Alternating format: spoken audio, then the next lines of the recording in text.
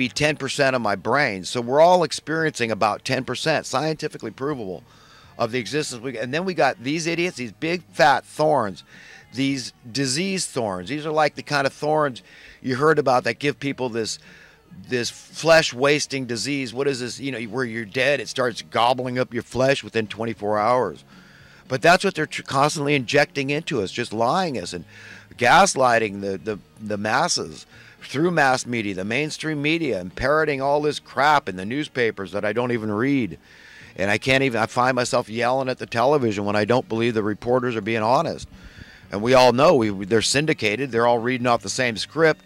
InfoWars has shown that repeatedly, where, look, I mean, they're all just reading from the same thing. It's almost verbatim. They change it up a little bit here and there, but essentially it's the same message because it's the message that guys like George Soros, and I, I don't want to get into condemning George Soros, but he's one of these diabolistic characters. And I say that by his fruits. I'm not saying that in a condemning, judgmental manner to any evil person that's left on the earth. We lost David Rockefeller a while back, but his deeds stunk to high heaven. But these people go the way they all end up. Go- I mean, you know, it, death is the what do they say? It's the great equalizer. So the rain shines on the just and the unjust alike, and the sun shines on the just and the unjust alike. And like Isaac Newton proved, that for every action, like a ripple in a pond, there's an equal, though opposite, reaction.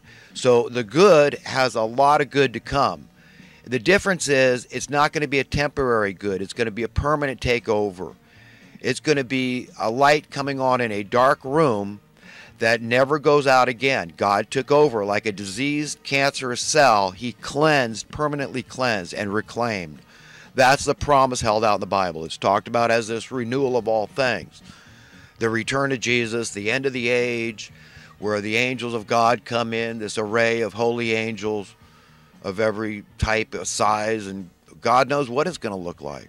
But they're described as having different powers, so some might be itty bitty, and some might be gigantic. So we don't know, miles long. I mean, purportedly, some of these things. So we don't know what's going to take place. But it's pretty phenomenal and that's the way God rolls. That you know, this is the kind of secrets that's been kept from us. This whole idea that there really is UFOs. I mean, for crying out loud, read a history book. Read the Bible. There's been there's been sightings of unidentified flying objects as far back as recorded history. Depictions on cave walls in Pakistan, 6,000, 7,000 years old. So, yes, yes, it's all true. Why do you think the elite, the diabolistic ones, the, okay, don't want you to know that? because knowledge is power.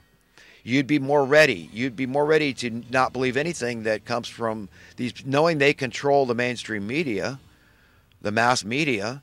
You'd, you wouldn't believe anything. So why would Alex pick out an article like that, written by some brown-nosed sycophantic bootlicking piece of pissant that's trying to feed his family? So God bless him.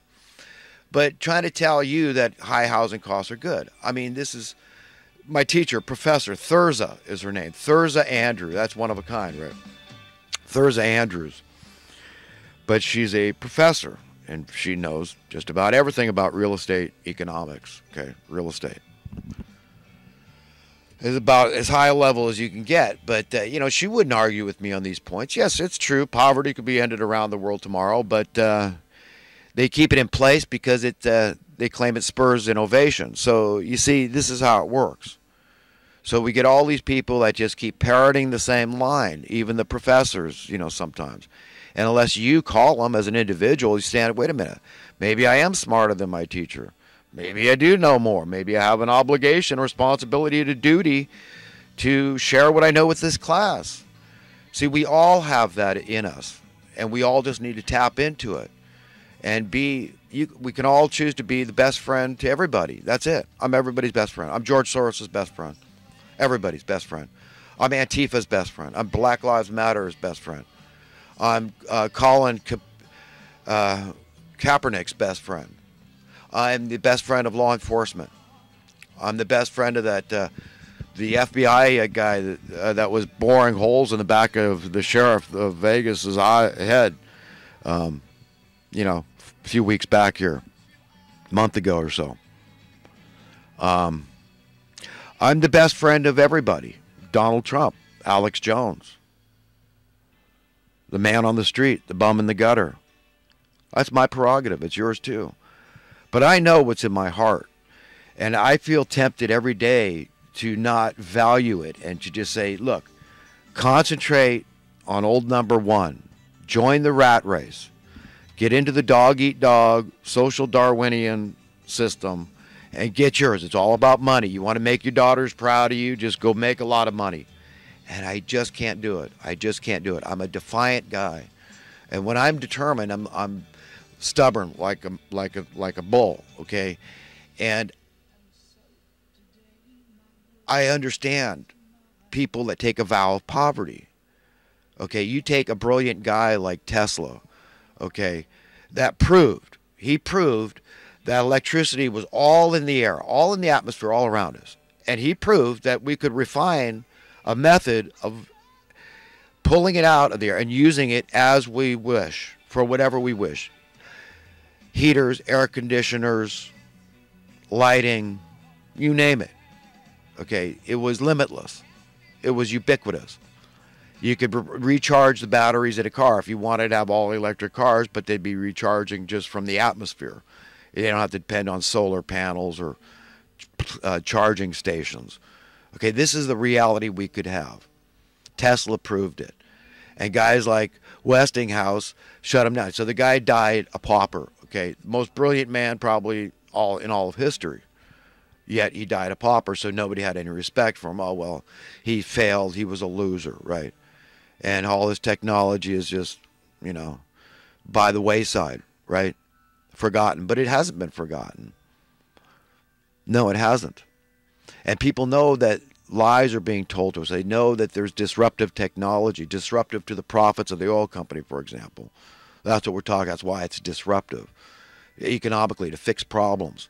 To have a guaranteed minimum uh, income would be very disruptive to the criminal industrial complex because crime would plummet.